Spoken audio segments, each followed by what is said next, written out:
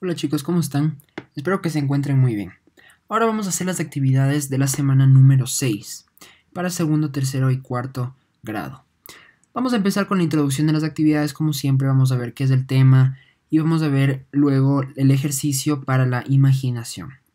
Entonces aquí dice, como siempre, la ficha pedagógica con la ayuda de una persona adulta y desarrolla las actividades. Si tienes dudas, comunícate con tu docente, tutor o con un directivo también, como siempre, si tienen alguna pregunta o comentario y necesitan ayuda, pueden escribirla en los comentarios del video y nosotros trataremos de responderles eh, lo más rápido posible. Y también pueden acceder a nuestra página web y así podemos contactar, nos pueden contactar por ahí también. Como siempre dice, 50 minutos diarios, las actividades son, ellos, o sea, ustedes pueden planear como ustedes quieran, pero normalmente se toma 50 minutos al día, ¿no? Y aquí ustedes pueden organizarse, pueden hacer las actividades que quieran cada día, pero recuerden que no tienen que hacer todo un día, sino esparcirlo de lunes a viernes toda la semana, ¿no? Vamos a empezar. ¿En qué piensas cuando escuchas la palabra cosmos? Esta palabra interesante, ¿no? Cosmos. ¿Qué, qué, qué, qué piensan ustedes? ¿Qué les viene a la cabeza? A veces la relacionamos con el espacio exterior, pero esta palabra se refiere a la relación entre todo lo que existe. Entonces, cosmos no solo se relaciona con el espacio, con el universo, sino la relación, la relación, la, cómo nos conectamos con todos los elementos de nuestro, de nuestro universo, de nuestro planeta. No todo lo que existe está conectado, y eso significa cosmos.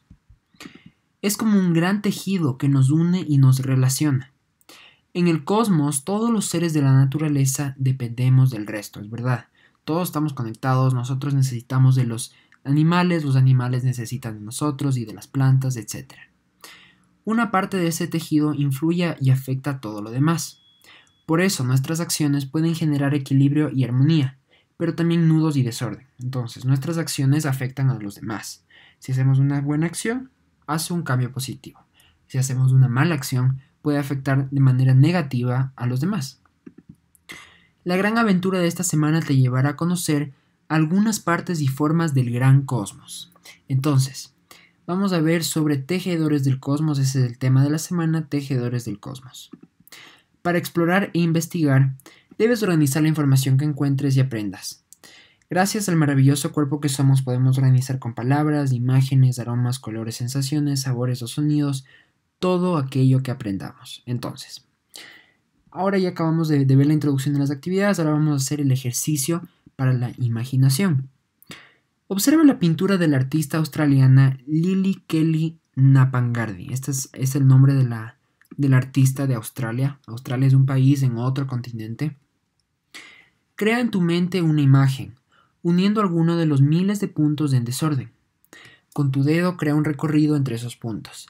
Cada vez que realizas un movimiento con tu dedo para unir los puntos, haz algún sonido, cada vez en diferentes tonos.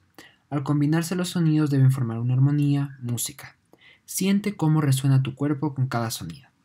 Entonces, si quieren podemos cerrar los ojos y vamos a imaginarnos miles de puntos en el cielo, donde ustedes quieran y miles, miles de puntos. Y con su dedo van a ir señalando y van a, van a conectar los puntos, ¿no? Entonces, cada movimiento, cada conexión que hagan entre los puntos, ustedes pueden hacer un sonido. Y una vez que tengan varios sonidos para todas las conexiones que hagan entre los puntos, este, pueden hacer como que una, como una mini canción, como una armonía. Y eso, este, ustedes pueden como que identificar de cómo eso se relaciona con su cuerpo, ¿no? Cómo, cómo el sonido resuena con su cuerpo. Aquí tenemos un ejemplo, ¿no? De lo que ustedes pueden imaginarse. Esta es, esta es la imagen de la, del artista australiana, ¿no? Aquí podemos ver cómo son miles de puntos, ¿no? Unos más gruesos que otros, pero de alguna manera forma como una figura, ¿no? Aquí tenemos las líneas y todo. Bueno, entonces con esto acabamos la actividad de la imaginación y la introducción de las actividades. En el siguiente video van a ver la actividad número uno haciendo comunidad. Cualquier pregunta, cualquier comentario, como siempre, no se olviden, pueden pedir nuestra ayuda, pueden escribir en los comentarios y nosotros trataremos de ayudarlos. También no se olviden de darle like y suscribirse al canal para apoyar nuestro canal. Gracias, nos vemos en el siguiente video.